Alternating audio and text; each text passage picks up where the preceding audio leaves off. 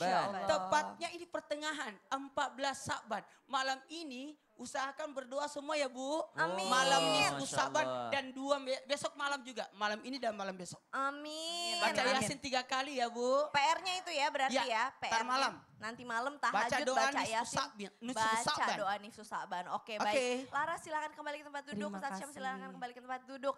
Ustadz Maulana di sini aja temenin saya Eh, deh. gimana kabarnya? Alhamdulillah alamin. Kita mau sapa dulu siapa tahu ada yang Iya. baru bergabung Eh, nih. ada yang baru bergabung eh, Indonesia bagian tengah dan timur. Yes, jamaah. Yeay! Oh, jamaah. Yeay! Alhamdulillah. Buat baru aja yang bergabung, tema kita pada pagi hari ini adalah Menang Menang kalah kalah itu biasa. Dengan bintang tamu kita Soraya Larasati. Dan di segmen sebelumnya tadi Ustadz Syam sudah menyebutkan bahwa salah satu ciri-ciri orang beriman adalah orang yang percaya kepada takdir Allah ya Ustadz Maulana. Takdir Allah. Dan tadi Habib juga sudah mengajarkan gimana sih caranya supaya kekalahan itu bisa menjadi suatu hal yang positif. Dijadikan ajang untuk evaluasi, Evaluasi diri. Nah sekarang kita mau belajar sama Ustadz Maulana. Mau Bu? Kalau ibu-ibu mau Ustadz Maulana kasih tausiah. Kalau enggak Ustadz Maulana duduk lagi nih. Mau enggak? Atau salawatan lagi ya? Atau salawatan lagi Masya Allah. Nah Ustadz Maulana yang namanya kehidupan. Ya. Pasti kan ada yang namanya kalah dan menang nih Ya. ya kan. Faktanya emang sebenarnya kita tuh manusia pengennya menang terus. Iya. Tapi nggak mungkin dong. Pasti ada yang mungkin. namanya kalah dan menang. Gimana sih cara kita bisa menyikapi sebuah kemenangan supaya kita nggak ujub, nggak jadi sombong. Dan juga bagaimana kita harus mempersiapkan diri. Supaya kalau tiba-tiba kita kalah, Ya. nggak terlalu kecewa-kecewa banget. Ya. Mohon tausiahnya. Bismillahirrahmanirrahim. Assalamualaikum warahmatullahi wabarakatuh. Waalaikumsalam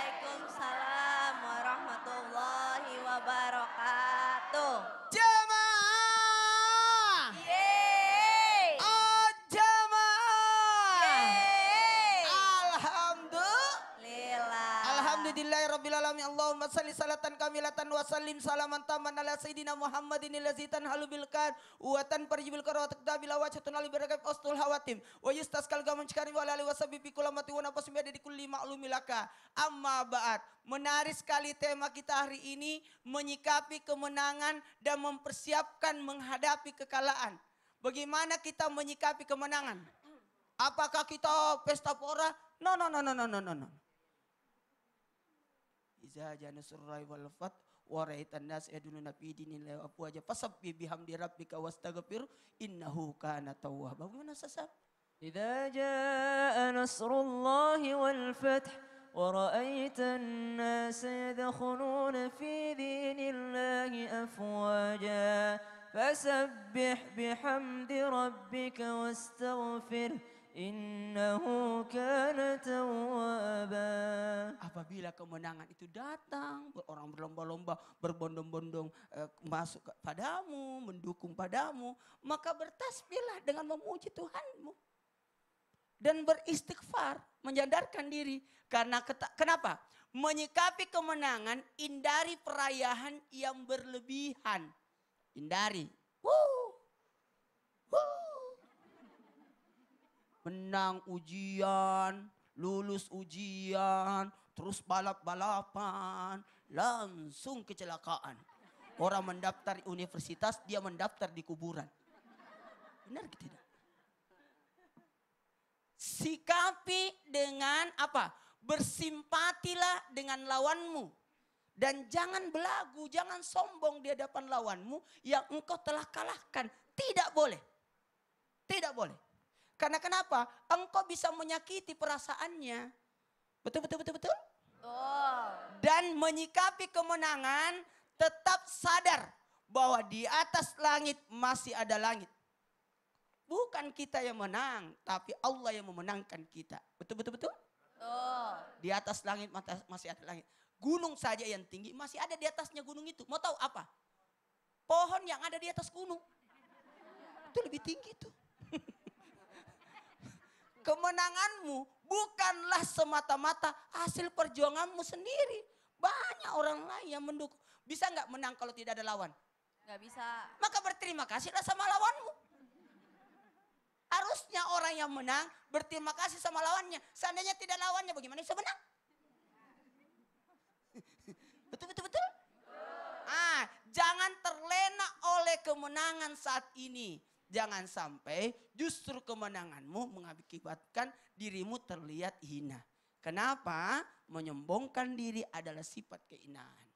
Apalagi mempertahankan kemenangan jauh lebih sulit daripada meraihnya dan mempertahankan eh, iya, men, eh, apalagi posisi sifatnya orang menang itu bagaimana? Dan kalau berkata "M- siap menang, semua orang siap menang. Yang harus disiapkan adalah bagaimana bisa menerima kekalahan. Dengan cara apa? Menerima takdir ketentuan Allah. Bisa jadi ada rencana Allah lebih baik daripada itu. Oh gitu. Jadi tetap Iya. berpositif thinking kepada Tetap Allah. berbaik sangka pada Allah. Dan kalau menang ingat la haula wala quwata illa illa billah. billah. Enggak mungkin kita bisa menang, enggak mungkin kita bisa kalah kalau tidak atas seizin Allah Dan bisa jadi orang yang mundur itu justru mau loncat lebih jauh. Nah, wallahu alam kita Eh, wah, stop stop stop stop stop. Karena bagaimana bisa loncat jauh kalau Hmm? tidak mundur? Betul. Jadi harus ada. Oh, stop, stop, stop, stop. Waduh, Ustadz Maulana nih. Jazakallah khair. Terima kasih banyak. Ustadz kasih tepuk tangan dulu dong, Bu. Biar pagi kita semakin semangat nih. Nah, untuk menambah semangat kita di pagi hari ini, kita juga akan bertanya nih sama Umi Maki. Assalamualaikum, Umi. Waalaikumsalam. Masya Allah. Menigelis pisan Umi. Masya Allah aku suka nanya-nanya nih sama Umi. Mi, sekarang aku juga mau nanya sesuatu nih pagi ini. Jamaah yang di rumah juga pengen belajar nih. Kenapa sih kadang-kadang ya Allah itu menakdirkan. Justru kaum muslim yang kalah misalkan ya waktu zaman zamannya Rasul. ba- Dan kaum musyrik nih yang menang pada saat itu. Kan ada tuh kisahnya Mi. Iya, betul. Boleh gak sih Mi diceritain lagi dan kira-kira hikmah di balik itu apa sih Mi? Mohon tausiahnya. Bismillahirrahmanirrahim. Assalamualaikum warahmatullahi wabarakatuh. Alhamdulillahirabbil alamin. Allahumma shalli ala Muhammad wa ala ali Muhammad. Pemirsa yang dirahmati Allah, ada satu hal yang sangat penting yang selalu harus kita ingat bahwa sesungguhnya menang atau kalah merupakan hal yang biasa di dunia ini. Makanya jelas sekali di dalam Al-Quran dikatakan, A'udzubillahi minasyaitonirrajim, Bismillahirrahmanirrahim, wa tilkal ayyamu nudawiluha bainan nas. Dan sesungguhnya hari-hari itulah yang Allah putarkan di antara kehidupan manusia. Maksudnya apa? Bunda, ketika satu hari Bunda menerima atau mem- men- apa, berjalan pada jalan yang menanjak, ya, pada jalan yang naik, jangan khawatir karena nanti Bunda sekalian akan menemui turunan.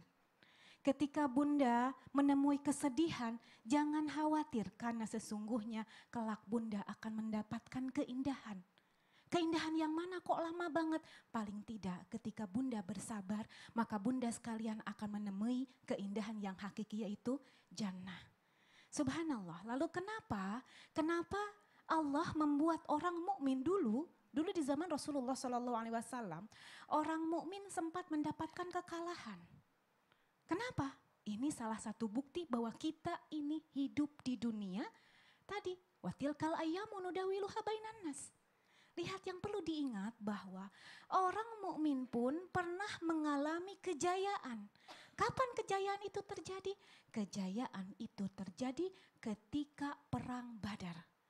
Perang Badar subha- subhanallah perang yang dahsyat yang merupakan kemenangan orang mukmin yang saat itu subhanallah subhanallah 70 orang dari kaum kufar Quraisy mati dan 70 orang dari kaum kufar Quraisy menjadi tawanan.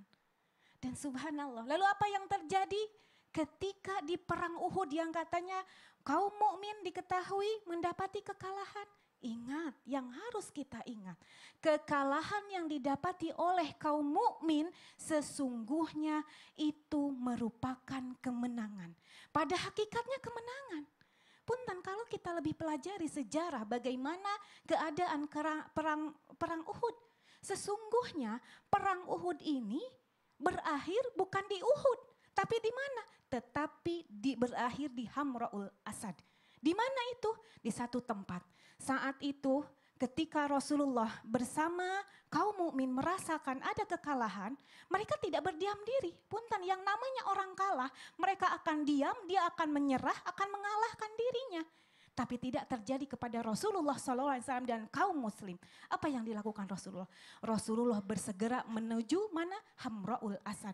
Untuk apa? Untuk mengejar orang mu- musyrik, musyrik.